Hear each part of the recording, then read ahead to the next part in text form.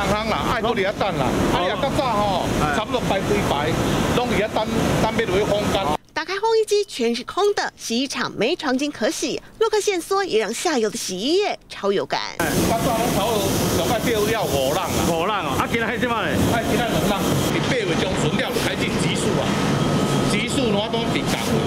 床巾堆得跟小山一样高，但对比过去，连一半的量都没有。洛克变少了，饭店旅馆下游的洗衣厂营业额也直线下降。顾客没有来，饭店都没有东西给我们做啊，差很多啊，每个月薪水就变少了啊。洗衣厂开业近二十年，从没遇过没床巾可洗的窘境，换洗床单、毛巾的生意也很难做，月营收腰斩再腰斩。以八月份来说，对比去年同期，三千五百多套床巾，今年只剩七百多套，量少了八成，员工的薪水也减少快一半。该加班哦啊，大概加加吼，迄落啊，即马都八点钟都用要做未到，前下拢领三万外，即马减到济，无钱无钱生。员工没床巾可洗，连一天基本八小时时数都做不满。从天天加班，现在变得不砍班减薪，生意惨淡。对于洗衣厂来说，旅客有多少，饭店有多少住房，就赚多少钱。但如今洛克来台人数锐减，不止观光产业受到波及，生意惨淡的灾情也扩大到下游产业。对于基层员工来说，